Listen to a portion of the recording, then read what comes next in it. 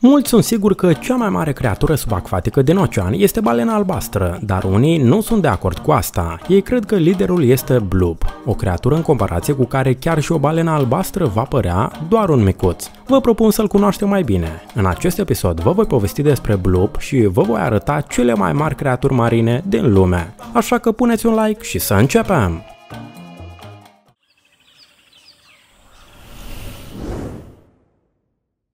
Bloop. Merită să începem cu faptul că Bloop nu e neapărat o creatură, cât un sunet. Prima oară a fost detectat în vara anului 1997. Atunci, hidrofoanele din Oceanul Pacific au reparat un zoom Z de frecvențe joase. Acest sunet se deosebea de restul pe care oamenii de știință l-au auzit vreodată. El se auzea de la o distanță de 5000 de kilometri și semăna cu cele emis de balene sau delfini. Dar niciun delfin sau balenă nu sunt capabili să imită un sunet atât de puternic. Atunci, mulți oameni de știință au considerat că sunetul putea fi emis de o creatură neînsuflețită. După una dintre versiuni, hidrofoanele au înregistrat momentul atingerii unui iceberg de fundul oceanului. Versiunea nu era, dar mulți nu sunt de acord cu ea. Teoreticienii consideră că cercetătorii au înregistrat sunetele emise de o creatură vie și au câteva argumente. De exemplu, în momentul înregistrării, Nava Națională de Investigație a Cercetătorilor Oceanici și Atmosferici studia fundul Oceanului Pacific de-a lungul coastei Chile. Radarele lor au arătat că în timpul înregistrării sunetelor sub nava lor a notat rapid ceva incredibil de mare. Modul de mișcare era ca unei ființe vii, nu putea să fie un submarin, poate era acel bloop. Atunci nu e clar ce au de a face aici acei 5000 de kilometri. Poate oamenii de știință încurcă ceva sau poate bloop înnoată ca flash. Dar nici asta nu-i tot. Despre Bloop povesteau chiar și celebrii cercetători, cu mult înainte acelei înregistrări în Oceanul Pacific. De exemplu, Jasquez Costeau povestea cum odată lângă batiscaful lui a notat ceva ureaș și lungimea acelui ceva era numai mică de 200-300 de metri. Despre gigantul mistic a povestit și Thor Heidralf, Odată a văzut sub navă ceva ureaș care imitea sunete terifiante. Mulți sunt siguri, Herdalf, Costeau, cât și oameni de știință care cercetau Pacificul, toți s-au întâlnit cu cea mai gigantică creatură de pe planetă, care a fost numit Bloop, în onoarea acelui sunet. Se consideră că locuiește în Pacificul de Sud, nu departe de Antarctica. Lungimea lui este de cel puțin 300 de metri. Corpul strălucește un pic, iar monstrul în sine emite sunete înspăimântătoare. Pentru el nu există bariere, poate să vâneze orice și mereu îi va fi puțin. În orice caz, astea sunt doar teorii și presupuneri. Încă nimeni n-a reușit să confirme existența lui Bloop. Putem doar să ne bazăm pe povestirile martorilor și pe registrarea oamenilor de știință. Dar dacă Bloop totuși va fi descoperit, asta va schimba toată informația despre fauna oceanului și va deveni una dintre cele mai importante descoperiri ale timpurilor noastre. Cum credeți voi? Se ascunde undeva în ocean vreun monstru de 300 de metri? Sau e doar un fake și o exagerare? Scrieți-ne părerile în comentarii!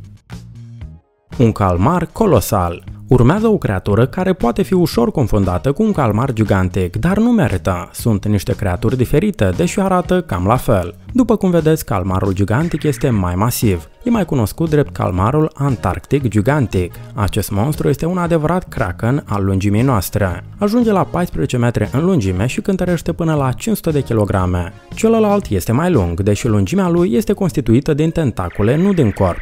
Calmarul antarctic gigantic este iubitorul adâncimilor extreme. Poate fi găsit la adâncimea de 200-2000 de metri. De aia e greu să-l capturezi pe cameră, anume din cauza asta oamenii de știință știu despre calmare gigantici, nu la fel de multe chestii cum și-ar dori. Apropo, interesant e că dimensiunile enorme ale lui sunt consecințele faptului că locuiește la adâncimi mari. Este un exemplu tipic de gigantism de adâncime, un fenomen curios în care creaturile ce trăiesc la adâncimi mari ajung la dimensiuni colosale. O amfipodă uriașă. Creatura cu așa denumire este un fel de artropodă care locuiește la fundul oceanului și a apelor dulci. De regulă nu este prea mare, lungimea deseori nu întrece un centimetru. Ca să o vezi uneori îți trebuie o lupă sau chiar un microscop. Însă atunci când în gigantismul de adâncime se manifestă, e de ajuns și o pereche de ochi. Faceți cunoștință cu Alicela gigantea. Este cea mai mare amfipodă care crește până la 34 de cm în lungime. Este de 10 ori mai mare decât rudele sale obișnuite. Așa creatură trăiește la adâncimi foarte mari. Iată aceste imagini sunt de la adâncimea de 5300 de metri în Oceanul Pacific și astea sunt noutăți bune. puțin probabil să vă întâlniți cu aceste creaturi într-o vacanță. Sifonofore gigantice Mulți oameni sunt siguri că balena albastră este cel mai lung animal de pe Terra și, într-adevăr, lungimea unor indivizi întrece 30 de metri, deci presupunerea asta este destul de logică. Cu toate acestea, sifonoforele gigantice pot fi mai mari. Da, nu e nici pe aproape atât de masiv ca o balenă, dar unele de specia Praia dubia pot ajunge la 50 de metri în lungime. În general, sifonoforele gigantice preferă să trăiască la o adâncime mare, de la 700 de metri la 1 km, și pot fi găsite prin apele întregii lumi. Interesant este că nu sunt un organism, ci mai degrabă o colonie de zooizi, adică colonie formată din mai mulți indivizi. Toți sunt uniți într-o structură comună, în care fiecare organism își îndeplinește funcția și întreține viața întregii colonii. De exemplu, unii se ocupă cu vânătoarea, alții de protecție, etc. Crabul gigantic japonez sau crabul păianjen japonez. Această creatură este un locuitor marin care la fel e un exemplu de gigantism de adâncime. E înfricoșător doar să te uiți la el, deși nu este periculos. În fața voastră este cea mai mare artropodă de pe pământ. E mult mai mare decât un crab obișnuit. Lungimea corpului cu tot cu membre ajunge la 6 metri. Masa lui ajunge la 20 de kilograme. Arată epic. Oamenii care se fotografează cu acest crab sunt niște norocoși. În primul rând vor avea mult multe fotografii ca amintire, iar în al doilea rând, nu fiecare va avea posibilitatea să-l vadă cu proprii ochi. Crabul japonez locuiește în Oceanul Pacific, la adâncimea de 300 de metri, de aia nu e o misiune ușoară să-i capturezi, dar ei sunt valoroși nu doar pentru pozele cool. Carnea acestui crab se consideră a fi o delicatesă. Un crab viu se folosește în scopuri științifice sau decorative. El este deseori ținut în acvarii. Această creatură interesantă își va schimba mai mulți stăpâni fiindcă ajunge să trăiască până la 100 de ani.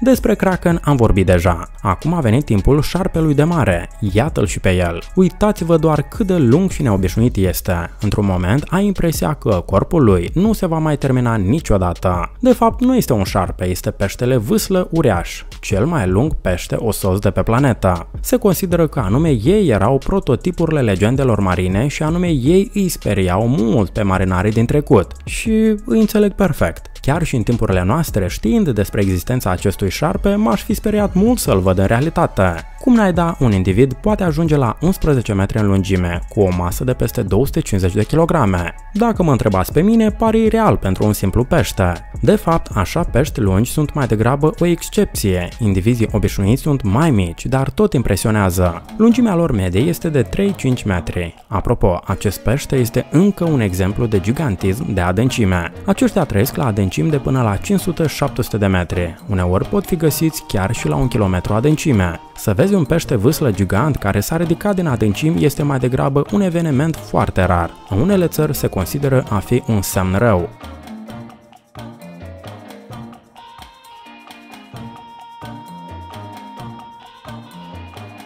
Și ca la final vă propun să vă uitați la un gigant subacvatic preistoric, care este mai înfricoșător decât toți acei uriași din adâncuri la oaltă.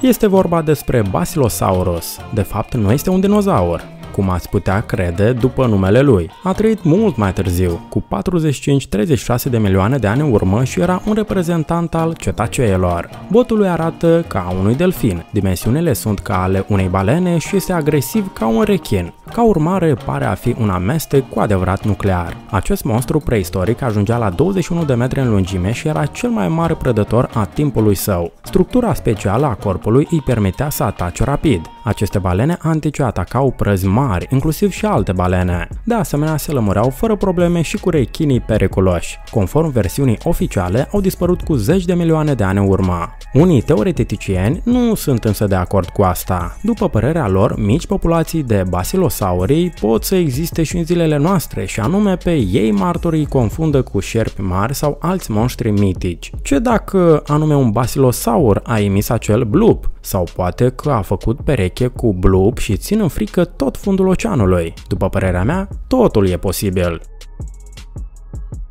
Hei prieteni, cam atât pentru astăzi. Scrieți-ne în comentarii pe voi care monstru v-a impresionat cel mai mult. De asemenea, abonați-vă la canalul nostru, apăsați clopoțelul pentru a nu rata noile episoade și puneți un like. Pe curând!